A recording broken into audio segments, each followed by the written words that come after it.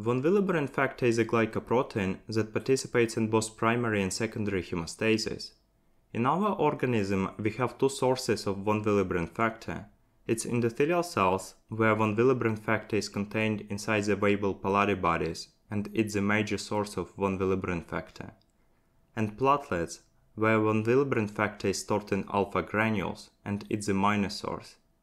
To explain von Willebrand disease, we have to briefly recall the entire hemostasis.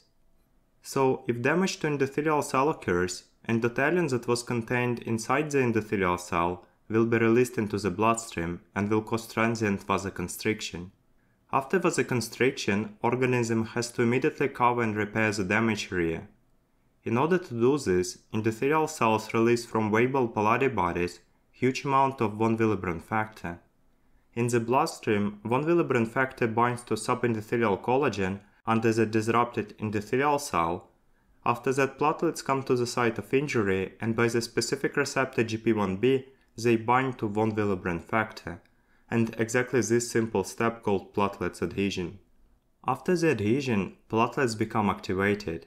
In response to this, they undergo shape change that results in their degranulation. With degranulation, platelets release the content inside them, including the dense granules that contain ADP. ADP that is released into the blood acts on ADP receptor on platelets and activates it.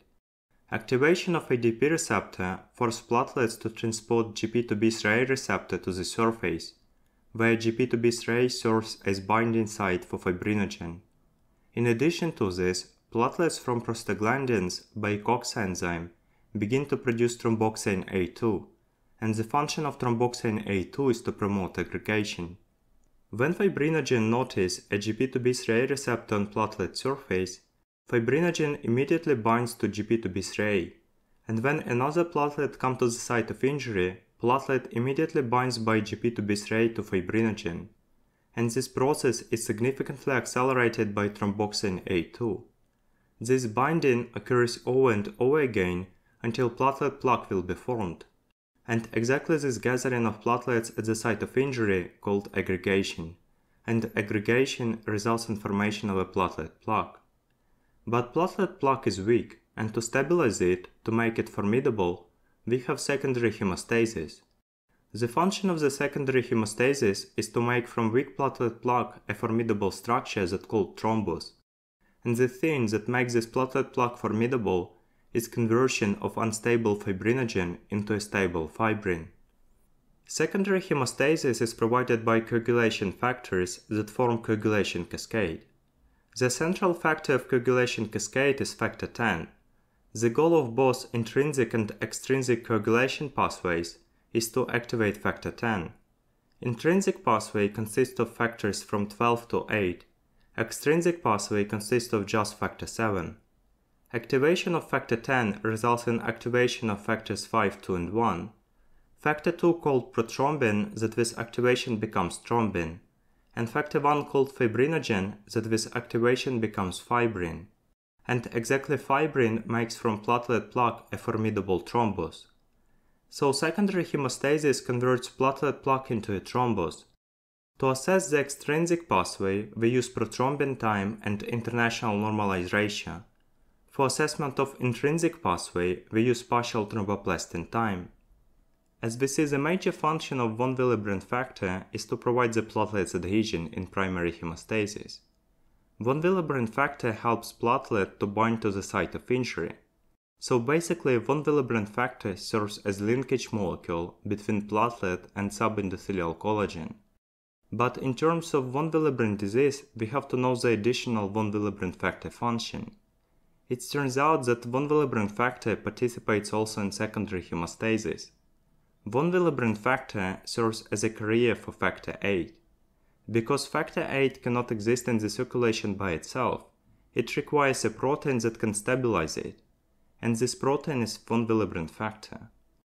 Von Willebrand disease can be generally divided into two subtypes. The first subtype is a condition when von Willebrand factor is not secreted properly thereby the level of von Willebrand factor in the circulation become extremely low. This deficiency called quantitative deficiency and is caused by autosomal dominant mutation. It's the most common subtype of von Willebrand disease. Another possibility is that von Willebrand factor can be produced broken. So even with normal level of von Willebrand factor in the blood, it cannot provide any functions. By the way, von Willebrand disease is the most common inherited coagulation disorder with an equal distribution between males and females. As we see, von Willebrand factor participates in both primary and secondary hemostasis. So in case of von Willebrand disease, both types of hemostasis will be affected. In primary hemostasis, with deficiency of von Willebrand factor, platelet cannot bind to subendothelial collagen. So platelets adhesion becomes disrupted. Without platelets adhesion, platelets cannot be activated. Without activation, they cannot release ADP into the circulation, and thereby they cannot force transportation of GP2B3A into the platelet surface. So fibrinogen cannot bind to platelets, as a result platelet plaque cannot be formed. So primary hemostasis becomes dysfunctional.